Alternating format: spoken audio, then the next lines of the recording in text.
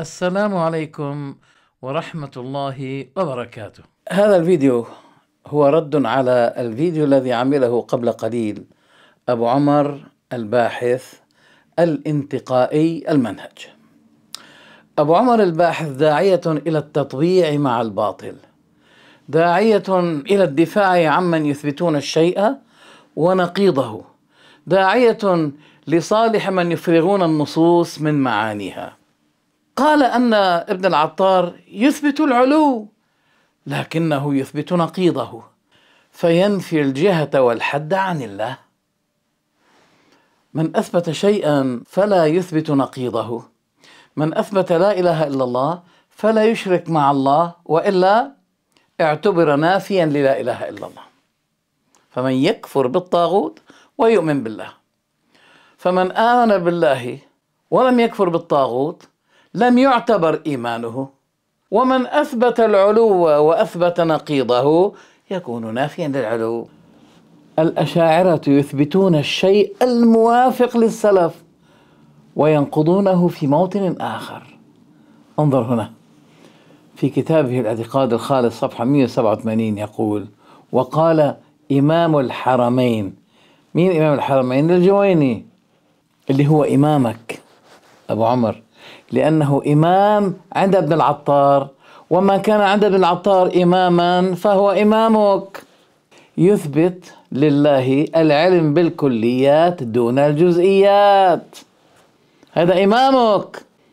كما نقل ابن الجوزي عن أبي الوفا ابن عقيل من كتابه بخطه أنه لما دخل الجويني بغداد لقيه أبو, الع... أبو الوفا ابن عقيل وسمع منه أن الله يعلم المعلومات من طريق الجملة لا من طريق التفصيل. ثم قال وذكر وذكر لي الحاكي عنه وهو من الفضلاء من مذهبه أنه ذكر على ذلك شبهات سماها حججا برهانية. فقال له ابن عقيل قلت له يا هذا تخالف نص الكتاب قال تعالى وما تسقط من ورقة إلا يعلمها ولا حبة في ظلمات الأرض ولا رطب ولا يابس إلا في كتاب مبين. المنتظم لابن الجوزي المجلد التاسع صفحة عشرين. مما أدى بالمازري اللي هو عندك إمام أيضا لا تنسى أبو عمر الإمام المازري عندك الأشعري. مما أدى به للطعن فيه والتشنيع عليه غاية التشنيع. وصرح بأنه سهل على الجويني ركوب هذا المذهب إدمانه النظر في مذهب الفلاسفة. وقال المازري وددت لو أني محيتها بدمي. عفوا أبو, أبو عمر بيك أنت تدافع عن الأشاعرة وتلمعهم. أبو عمر الملمع هل أدركت الآن لماذا لا نبالي بكلام ابن العطار عن علو الله وأنه فوق. فوق عنده لا تعني الجهة. ولذلك يستدل الأشاعرة بهذه الآية بقول فرعون وإن فوقهم قاهرون فعندهم الفوقية فوقية القهر لا فوقية جهة العلو. انظر ماذا يقول. ينقل عن هذا الجويني أنه قال ومن قال أن الله في السماء على معنى التحيز يعني الجهة. فهو كافر بإجماع المسلمين. أي إجماع هذا؟ بإجماع الأشاعرة. أرأيت لماذا لا نبالي باستدلال ابن عطار بابن المبارك؟ وقد نفى قول ابن المبارك أن علو الله بحد. لم يثبت هذه اللفظة. لكنه نقل عن الجويني تكفير من يعتقد أن الله في السماء بمعنى الجهة اللي هي جهة فوق. شفت التلميع عندك يا أبا عمر روح! اذهب إلى زكريا بطرس وحاوره. دع الأشاعر لنا فنحن أخبر بهم منك. هذا إن لم تكن أنت واحدا منهم. لكن عندي أنموذج اليوم من تدليسات أبي عمر يقول أن ابن العطار يثبت الحد لله لكن ابن العطار ينفيه. شاهدوا بالله. انظر الوثيقة التي وضعتها لابن العطار الآن يقول سبحانه ولا يحده حد. لا يجوز القول على الله أنه له حد. لكن أبا عمر يقول ابن العطار يثبت الحد لله. انظر كيف نقل كلامي الآن. ثم قال ها تبين من كلامك دمشقي أن ابن العطار يثبت الحد. ثم نقل كلام ابن المبارك أننا نعرف الله أنه فوق سماواته على عرشه. لكن ما ذكر الإضافة التي فيها وهي بحد؟ قال نعم بحد. هذه ما نقلها أبو عمر الباحث. وكتم قول ابن العطار ولا يحده حد. والشيخ ابن عثيمين وضح أن من يقول إن الله له حد أراد بها أنه سبحانه بائن من الخلق. إذا فقول الإمام ابن العطار بأن الله سبحانه بائن من خلقه معناه أنه يثبت الحد بهذا المعنى يثبت الحد بهذا المعنى يثبت الحد بهذا المعنى وبذلك تنتهي افتراءات الدمشقية حول الإمام ابن العطار عاشرا الدمشقية اعترف دون أن يدري أن الإمام ابن العطار أثبت الحد لله كيف حدث هذا؟ ويؤكده قول الأشعري في رسالته إلى أهل الثغر صفحة 233 وأجمعوا على أن الله على عرشه فوق سماواته دون أرضه. ثم صرخ بعدها قائلا وهذا حد. وهذا حد. ممتاز أحسنت والله. أنت الآن دمرت شبهاتك حول الإمام ابن العطار. لأن ابن العطار نقل لنا قول الإمام عبد الله بن المبارك وهو يقول نفس هذا الكلام شوفوا يا إخوة ماذا قال الإمام ابن العطار. وعلماء الأمة وأعيان الأئمة من السلف رحمهم الله لم يختلفوا أن الله تعالى على عرشه فوق سماواته. قال عبد الله بن المبارك نعرف ربنا فوق سبع سماواته على العرش استوى بائنا من خلقه ولا نقول كما قالت الجهمية إنه ها هنا يعني في الأرض.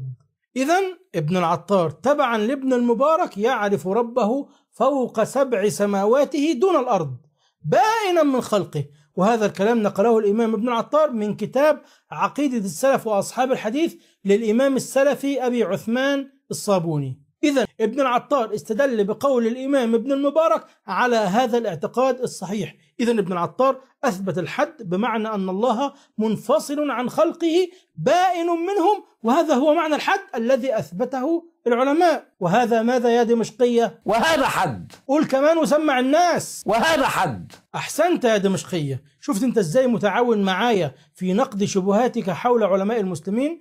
وبذلك يكون الدمشقية كالتي نقضت غزلها من بعد قوة أنكافا شوفوا كيف أورد هذه الآية لأني قلت فيما مضى أن ابن العطار ينفي علو الله بعد إثباته بقوله لا يحده حد وقوله أن من اعتقد أن الله في السماء على معنى التحيز يعني الجهة فهو كافر إجماعا.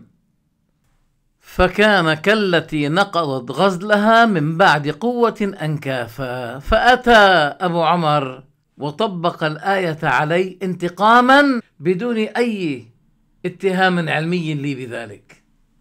انتقاما فقط. ما الذي نقضت غزله؟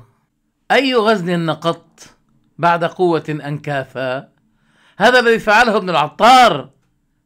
يا من تنتقم لنفسك وتتجنى على أهل السنة. انظر كيف ثبت كذبك. تقول يثبت الحد وهو ينفيه. بصراحة. إذا كتم قول ابن العطار في نفي الحد عن الله. وكذب بأن قال أن ابن العطار يثبت الحد لله. ثم قال وبهذا يكون دمشقية كالتي نقضت غزلها من بعد قوة أنكافا الله أكبر عليك. شوفوا يا أخوان أنا أترك لكم الحكم على تدليس هذا الرجل وكذبه. أنت تلومني وتقول لماذا تتهمني بالكذب؟ هذا كذب الآن. تقول ابن العطار يثبت الحد. ابن العطار ينفي الحد. تقول أنه نقل كلام ابن المبارك في إثبات الحد. لم ينقل كلام ابن المبارك في في إثبات الحد. بل رواه دون الزيادة التي في الروايات الأخرى. بحد؟ قال نعم بحد. شفت كيف أبو عمر كيف شغلك ما الذي جعلني أصفك بأبي عمر الساحر؟ لأنك تلبس على الناس والناس يتحمسون لك ويقولون ما شاء الله رد عليه. لو أني أتفرغ لك والله لأثبتن لك كثيرا من تدليساتك وأكاذيبك وتناقضاتك. لكني والله أدرت صفحا عن ذلك لكن هذا زادك طغيانا. لكن في هذا الفيديو سوف أثبت كما أثبت الآن أنك مدلس وكذاب. اقبضوا على الحرامي أبو عمر ممكن أن تقول لنا لماذا ذكرت نقل ابن العطار عن الصابوني؟ رواية ليس فيها بحد والرواية الصحيحة تتضمن أي والله بحد. ورواها البيهقي في الأسماء والصفات. عن علي عن علي بن الحسن. قال سألت عبد الله بن المبارك كيف نعرف ربنا؟ قال في السماء السابعة على عرشه. قلت بحد. قال أي والله بحد. أسماء وصفات البيهقي. السنة الإمام أحمد برواية ابنه عبد الله. الرد على الجهمية للدارمي. بينما قال ابن العطار سبحانه ليس له حد أو لا يحد بحد. وقال الذهبي في مختصر العلو هذا صحيح ثابت عن ابن المبارك. لماذا لم تستدل بالرواية الصحيحة المثبتة للحد؟